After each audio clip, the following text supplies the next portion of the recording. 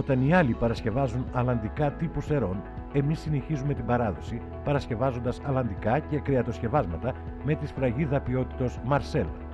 Με τις τρεις ιδιόκτητες χειροτροφικές μας μονάδες που καλύπτουν πλήρως τις ανάγκες μας, με συνταγές παραδοσιακές, με άριστες πρώτες ύλε και με υπερσύγχρονα μηχανήματα, παρασκευάζουμε και συσκευάζουμε πάνω από 50 προϊόντα υψηλής θρεπτικής αξίας και αυθεντική γεύση. Marcel. Όλα μας τα προϊόντα υπόκεινται στους αυστηρότερους υγειονομικούς ελέγχους για να φτάνουν στο τραπέζι σας νόστιμα και υγιεινά. Βιομηχανία αλλαντικών και κρεατοσκευασμάτων Marcel. Από το 1984 πρώτη σε ποιότητα και γεύση. Τώρα μπορείτε να τα βρείτε και στο πρατήριο κρεοπολείο της επιχείρησής μας στην Αμπέλα Σερών.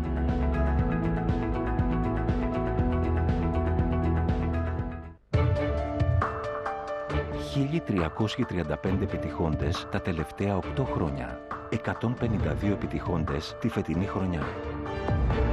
Φροντιστήρια κορυφή. Φροντιστήρια υψηλών στόχων.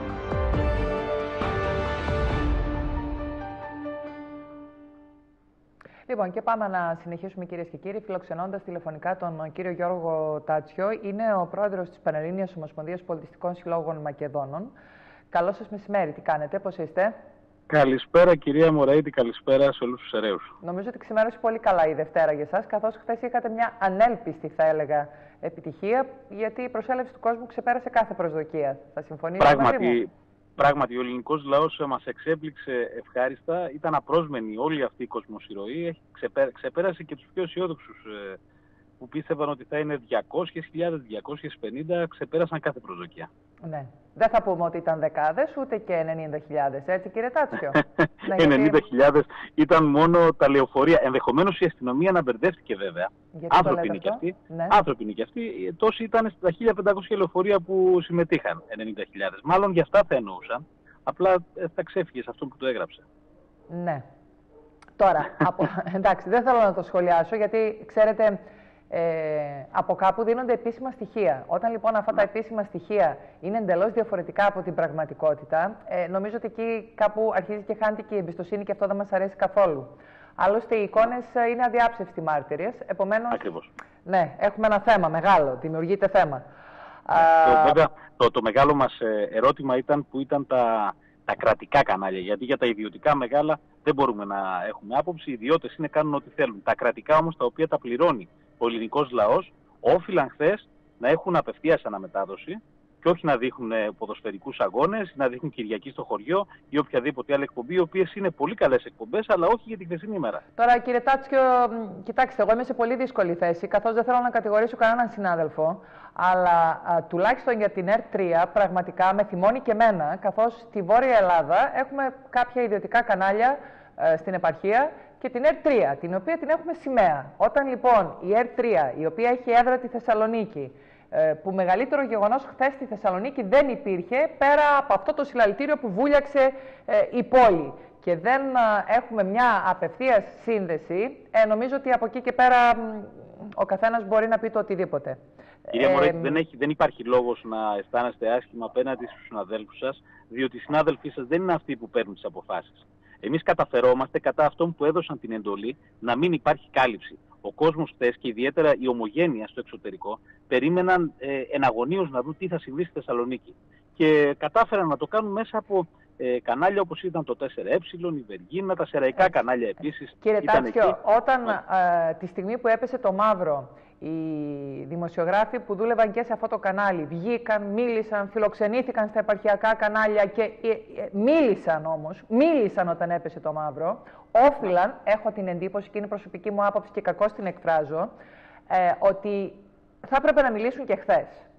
Δεν είχαμε άλλο σημαντικό γεγονός στην Θεσσαλονίκη για να μην πω στην Ελλάδα χθες. Έτσι. Νομίζω ότι είναι το σημαντικότερο των τελευταίων 27 λοιπόν, ετών. Ναι, μετά το, το, εκείνο το συλλαλητήριο. Ε, νομίζω λοιπόν ότι δεν υπάρχει δικαιολογία και βεβαίως δεν μπορούν να επικαλεστούν ούτε αδυναμία, ούτε μη ύπαρξη προσωπικού, ούτε μη ύπαρξη ε, μηχανημάτων και εξοπλισμού. Δεν υπάρχει δικαιολογία για το συγκεκριμένο. Για όλα τα υπόλοιπα μπορώ να βρω μια δικαιολογία. Για αυτό το κανάλι όχι. Με καλύψατε πλήρως. Λοιπόν, Δεν πειράζει όμως αυτά τώρα. Όχι, ε, πειράζει γιατί το πληρώνουμε κιόλας. Ε, θυμώνω ακόμη περισσότερο, αλλά ας μην το συνεχίσουμε αυτό. Να, ε, Α θεωρήσουμε ότι ήταν μια άτυχη στιγμή και ότι θα είναι πιο προσεκτική από εδώ και στο εξής. Και η ίδια η πολιτεία βέβαια. Έτσι, γιατί αυτοί διορίζουν, αυτοί προσλαμβάνουν, αυτοί απολύουν, αυτοί κλείνουν, αυτοί ανοίγουν. Ε, πάμε τώρα στο αποτέλεσμα. Ε, θέλω τη δική σας εκτίμηση. Από κόσμο δεν το συζητάμε, έτσι. Ε, και ε, κάποιοι οι οποίοι ίσως και να κουράστηκαν και να μην ήρθαν γιατί είχε πάρα πολύ κόσμο και δεν μπορούσαν να φτάσουν στο σημείο.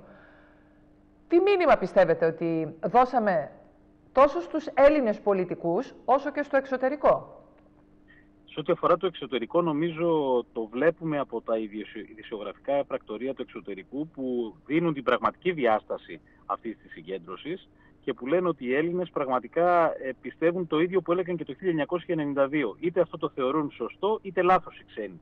Γιατί οι ξένοι έχουν διαμορφωμένη άποψη σύμφωνα με τα κέντρα τα οποία τους επηρεάζουν.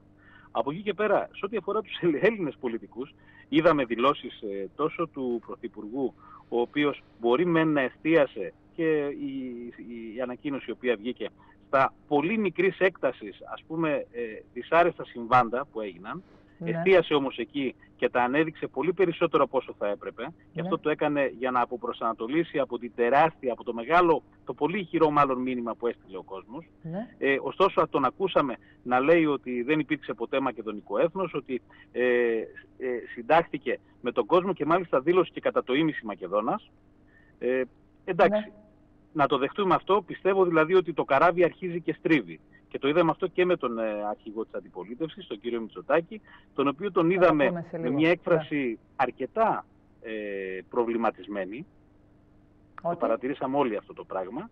Και παραδέχτηκε ότι ο κόσμος έχει συγκεκριμένη άποψη στη Μακεδονία. Μένει λοιπόν όλο αυτό να αποτιμηθεί και, στις, ε, ε, και, στο, και στη Βουλή και να αποτυπωθεί η άποψη του λαού στη Βουλή. Γι' αυτό λοιπόν εμείς ε, δεν το αφήνουμε έτσι το πράγμα. Ναι. Συνεχίζουμε με δημόσια διαβούλευση. Καλούμε όλους τους βουλευτές των κομμάτων μαζί με τον, με τον κόσμο, με τον λαό σε κάθε νομό να έρθουν σε αμφιθέατρα και να κάνουμε τη δημόσια διαβούλευση. Ξεκινάμε από αυτό το Σαββατοκύριακο, το Σάββατο Κατερίνη και την Κυριακή ερχόμαστε Σέρας, στις 7 το απόγευμα στα Αστέρια. Ελπίζουμε να έρθουν όλοι οι βουλευτές, όλοι έχουν κληθεί και ο κόσμος μπορεί να τους ρωτήσει αυτά τα οποία νιώθει, αυτά τα οποία ε, θέλει να ρωτήσει στους εκπροσώπους του, θα γίνει μια πολιτισμένη συζήτηση, αυτό θα το διασφαλίσουμε, δεν θα υπάρξουν οξύνσεις και γι' αυτό καλούμε τον κόσμο που θα έρθει να είναι πολιτισμένος, να ρωτήσει αυτά που θέλει με ηρεμία και να λάβει τις κατάλληλες απαντήσεις. Σε ποιους να τα ρωτήσει. Τα οποία... ε, ε, τώρα, ε, γιατί να μην είναι ήρεμο το κλίμα στη διαβούλευση που θα γίνει εδώ την Κυριακή; Γιατί να υπάρξουν εντάσεις; Εμείς, σαν διοργανωτές, κυρία Μωραήτη, οφείλουμε ναι. να διασφαλίσουμε τους κανόνες ε, μιας δια, δημόσιας διαβούλευσης. Ναι. Και επειδή θέλουμε να είναι όλοι εκεί, να μην υπάρξει οποιοδήποτε ψεγάδι Α, εκεί, να υποψία. εκεί να υπάρξει ψυχραιμία, μου λέτε. Μπορεί κάποιος ε, να νομίζει ότι θα υπάρχουν προπυλακισμοί, φραστικές επιθέσεις και όλα αυτά τα πράγματα. Εμείς ζητούμε λοιπόν από τον κόσμο που θα συμμετέχει να είναι κόσμιος και πολιτισμένος. Μάλιστα. Ωραία. Δεν μου λέτε από την παρουσία των πολιτικών χθες Καταρχάς, δεν ξέρω αν ήσασταν σε θέση να διαπιστώσετε γιατί είχε τόσο πολύ κόσμο και ε, δεν ξέρω ποιους είδατε κι εσείς. Αλλά Εγώ, εγώ ναι. ήμουν στην Εξέδρα, είδα, είδα ελάχιστους, ήταν πάρα πολύ ο κόσμος, δεν ναι. μπορούσε να μετα, μετακινηθεί κανείς εκείνη Από τους πολιτικούς που έδωσαν το παρόν εκεί; Είδα τον κύριο Λεβέντη που πέρασε από μπροστά μου, ναι. ε, τον κύριο Κώστα Καραμαλή τον νεότερο, ναι. ε, αρκετούς δημάρχους από την περιοχή, τον κύριο Κλεάνθη Κοτσακιαχίδη είδα, ναι. τον δήμαρχο Ηράκλειας δηλαδή, με την οικογένειά του. Ε, Αυτούς που είδατε μου λέτε βέβαια, έτσι, για να μην μάλιστα, παρεξηγηθούμε τώρα σε αυτά τα οποία λέμε. Πολύ ωραία. Έτσι, έτσι, ε, αυτό λέτε σημαίνει κάτι; Ε, τους δημάρχους θα έλεγα τους αφήνω απ' έξω γιατί ουσιαστικά εκπροσωπούν τον απλό πολίτη. Θα μου πείτε γιατί οι βουλευτές όχι; Ε, και οι βουλευτές όμως. Είστε ευχαριστημένος ότι οι περισσότεροι τουλάχιστον βορειολαδίτες δώσαν το παρόν; Αυτό είναι ένα ευχάριστο μήνυμα ναι. και νομίζω ότι πήραν το μήνυμα από πριν ότι θα έχει πάρα πολύ κόσμο και συντάχθηκαν εγκαίρως. Ελπίζουμε λοιπόν στην πορεία να το, κάνουν, να το πράξουν και άλλοι βουλευτές, όχι μόνο από τη Μακεδονία, αλλά από όλη την Ελλάδα, ε, λαμβάνοντας υπόψη αυτό το μήνυμα ότι ο κόσμος αγωνιά για το μέλλον του τόπου του. Ναι. Δεν είναι ότι είμαστε εθνικιστές και δεν θέλουμε να δώσουμε το όνομα επειδή είναι ένα καπρίτσιο. Ακούμε πραγματικά για το μέλλον μας. Θέλουμε τα παιδιά μας να ζήσουν σε ειρηνικό περιβάλλον. Αυτό το μήνυμα θέλουμε να περάσουμε. Καταρχάς, να, να, ε, κύριε Τάτσιο, συγγνώμη που σας διακόπτω, αλλά ένας ε, τηλεθεατής και ε, νομίζω ότι κάνει την πιο σωστή επισήμανση. Ε, γιατί συνήθως όλοι λέμε ότι η Μακεδονία είναι μία, είναι ελληνική και όλα αυτά. Έχετε ένα σύνθημα πίσω στην εξέδρα που λέει Μακεδονία είναι Ελλάδα. Ε, επομένως, ε, δεν σηκώνει πολλά σε αυτή, σας, ε, την, σε αυτή την έκφραση. Όταν Μακεδονία είναι Ελλάδα, δεν μπορούμε να πούμε πολλά. Στο είναι μία και ελληνική, ο καθένας μπορεί να πει πάρα πολλά πράγματι. Αλλά στο, αν, ε, στο ότι η Μακεδονία είναι Ελλάδα, επομένως δεν μπορούμε ούτε το, να το απλώσουμε, ούτε να το μαζέψουμε, νομίζω ότι έχετε την πιο σωστή έκφραση και το πιο σωστό μήνυμα. Είναι γεγονός. Νομίζω ότι αυτό τα Έχει λέει δίκιο ο τηλεθεατής. Πραγματικά. Και τον ευχαριστούμε πάρα πολύ για αυτό το οποίο είπε, γιατί ε, είναι το, το απόλυτο και το σωστό. Λοιπόν, τώρα, εμείς έτσι όπως είχαμε συμφωνήσει την επόμενη Παρασκευή, θα σας έχουμε εδώ να τα πούμε, ε, γιατί μέχρι τότε λογικά θα υπάρχουν και εξελίξεις. Καθώς εσείς ε, θα οργανώνετε και ε, κάτι παρόμοιο που έγινε εχθές και στην Αθήνα, έτσι; Είναι γεγονός 4 Φεβρουαρίου θα γίνει και στην Αθήνα και τώρα γελώ από... Τι, τι να σας πω, ο κόσμος διψά πραγματικά να βγει και να φωνάξει, να φωνάξει για το δίκαιο. Ε, με ρωτούν από όλες τις μεριές της Μακεδονίας, ναι. τα μέλη μας, θέλουν να οργανώσουν, να οργανώσουν λεωφορεία για να κατέβουν και στην Αθήνα. Μια μέρα μετά το μεγάλο συλλαλητήριο της Θεσσαλονίκης. Είναι, είναι τρομερό αυτό που συμβαίνει και μιλάμε ναι. για νέους ανθρώπους, ε, ανθρώπους 20, 30, 40 ετών. Είναι τρομερο Και που δεν σας βοήθησε και δεν ήταν και ε, απλόχερα ο καιρός δίπλα σας, στο πλευρό σας; Είναι γεγονός. Ναι. Γεγονός ναι. Παιδευτήκατε λίγο προς το τέλος. Για την Εκκλησία έχετε να μου κάνετε κάποιο σχόλιο. Διάβαζα κάτι σήμερα ότι ήταν, λέει, Μητροπολίτε. Ναι, βεβαίως. Αλλά η απάντηση του Αρχιεπισκόπου ήταν και πόσους μετρήσατε. Νομίζω κάποιος συνάδελφος είπε 8, 9 και λέει από τους 80 τόσους. Έχετε να κάνετε κάποιο σχόλιο πάνω σε αυτό; Ο κύριος Θεολόγος ήταν. Ο Σεραίος ήταν, βεβαίως. Βεβαίως. Και είχαμε πολύ ενδιαφέρουσα συνομιλία. Θα πάω και από το γραφείο του. Ε, να πούμε, εδώ να πούμε μία φράση. Ε, λαού, οργή Θεού. Πράγματι, οι Μητροπολίτες έκανε την έκπληξη με αρχηγό τον ε, κύριο Άνθιμο, παρευρέθησαν, έδωσαν τις ευλογίες και νομίζω μετά από αυτό πέρασε ένα επίσης πολύ δυνατό μήνυμα. Και η Εκκλησία λοιπόν μελέτησε τα στοιχεία και μελετά τα στοιχεία. Έτσι. Το καράβι στρίβει κυρία Μωραή. Για να δούμε στρίβει τι και θα το μέρος μας. Για να δούμε λοιπόν. Ωραία. Θα τα πούμε από κοντά κύριε Τάτσικο και αν υπάρχει κάποια άλλη εξέλιξη ε, γιατί δεν ξέρω και τα μηνύματα που πήρατε από την Αμερική εσείς, καθώς έχετε επαφή. Από ποιους; Από την Αμερική, από τους ομογενείς μας. Ε, με τους ομογενείς είμαστε σε συνεχή επαφή. Τώρα η ηγεσία τους βρίσκεται εδώ στη Θεσσαλονίκη. Ναι. Ε, συνομιλούμε συνεχώς, βρισκόμαστε συνεχώς, κάνουμε συσκέψεις και τώρα αυτή τη στιγμή που μιλάμε ήδη βρίσκεται σε εξέλιξη σύσκεψη για την, ε, για την περίπτωση των Αθηνών, διότι όλα τα υπόλοιπα είναι δρομολογημένα. Και επίσης ε, σχεδιάζουμε τώρα μαζί σε συνεργασία με αρκετές άλλες ομοσπονδίες τη δημόσια διαβούλευση που θα γίνει τέλη Φεβρουαρίου στο Βελίδιο στη Θεσσαλονίκη. Όπου και εκεί θα έχουμε πολύ ενδιαφέρουσες παρουσίες. Πολύ ωραία. Θα έχει ναι, ενδιαφέρον να μάθουμε και εκεί τους ομιλητές και να, να ακούσουμε. Ε, Όπως και βλέπετε το θέμα, ναι. το θέμα δεν το αφήνουμε. Θα είναι συνέχεια στην επικαιρότητα, θα προσπαθήσουμε να το έχουμε και πιστεύω ότι θα, ε, θα δικαιώσουμε τον κόσμο. Βάλατε μια πολύ καλή μάσκα που μάλλον δεν επιτρέπει στην uh, κυβέρνηση να αναπνεύσει με άνεση. ε, Επομένως, uh, δεν πειράζει. Τώρα, αφού τη βάλατε, uh, κανονίστε να δουλέψει και σωστά. Σας ευχαριστώ πάρα πολύ, κύριε Τάτσιο. Σας ευχαριστώ. Να είστε καλά. Ε, Επομένως, και μόνο το χαμόγελο και η αισιοδοξία που έχουμε από τον ε, Πρόεδρο και από όλους τους συμμετέχοντες, νομίζω ότι το μήνυμα ε, είναι, ε, δίνεται ε, ξεκάθαρο. Τώρα, επειδή μιλήσαμε και για πολιτικούς και θα δούμε και κάποιες φωτογραφίες, σύμφωνα με ασφαλείς πληροφορίες, λοιπόν, την περασμένη εβδομάδα υπήρξε μια σύσκεψη τομεαρχών στην Νέα Δημοκρατία. Εκεί, λοιπόν, οι πληροφορίες μας αναφέρουν ναι, να βλέπουμε το υλικό. Οι πληροφορίες μας αναφέρουν ότι ο νεότερος Κώστας Καραμαλής του Αχηλέα ζήτησε τοποθέτηση και συμμετοχή. Αυτό φαίνεται πως έγινε γνωστό, ε, δεκτό συγγνώμη, από τον κύριο Μητσοτάκη. Ε, επομένως, αυτό που ε, ακουγόταν τις ε, περασμένες ημέρες, ότι να μην μιλάνε, να μην κάνουν δηλώσεις, να μην δώσουν το παρόν και όλα αυτά, ε, καταρρίφθηκε. Τώρα, βλέπουμε λοιπόν εδώ φωτογραφίες που μας λένε ότι στο συλλαλητήριο στην Θεσσαλονίκη ε, ήταν ε, όχι μόνο ο ίδιος αλλά και ο πατέρας του και αδερφός του Εθνάρχη Κωνσταντίνου Καραμαλή, Αχιλέας Καραμαλής. Αυτό δίνει μια ξεχωριστή σημασία, ε, έτσι, καθώς ο κύριος Αχιλέας Καραμαλής ταξίδεψε από Αθήνα για να βρεθεί σε αυτό το συλλαλητήριο. Οι δύο άνδρες λοιπόν συμμετείχαν στη συγκέντρωση που ξεπέρασε, είπαμε, κάθε προσδοκία, με τη συμμετοχή πάρα πολύ κόσμου από ολόκληρη την Ελλάδα. Ε, ήταν πολλοί, είναι αλήθεια, αυτοί που τους πλησίασαν και τους ε, χαιρέτησαν και είπαν και την, ακούστηκε πολύ ε, και η ιστορική αυτή φράση του Κωνσταντίνου, ε, του αείμνης του Κωνσταντίνου Καραμαλή «Η Μακεδονία είναι μία και είναι ελληνική». Τώρα, φωτογραφήθηκαν στον Ανδριάντα, το, του ιδρυτή της Νέας Δημοκρατίας, στην παραλία της συμπρωτεύουσας.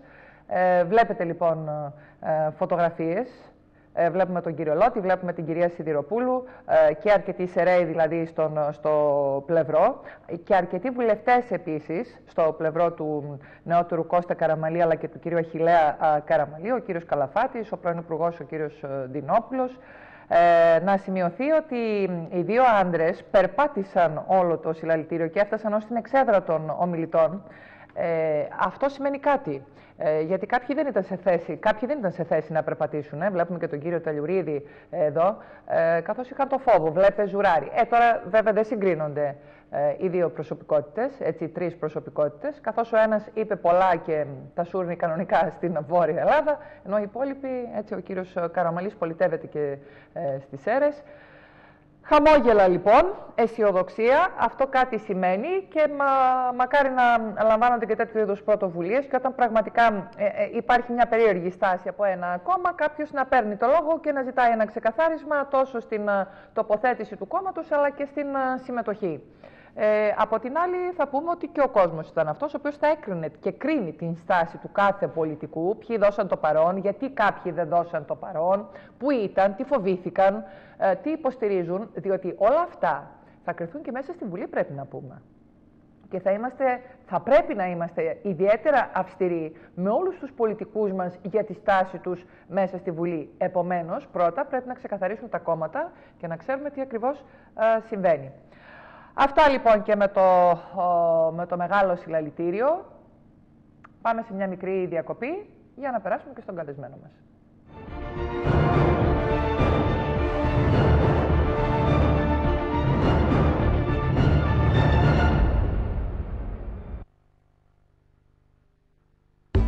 Μπάζα ναι, άχρηστα όχι.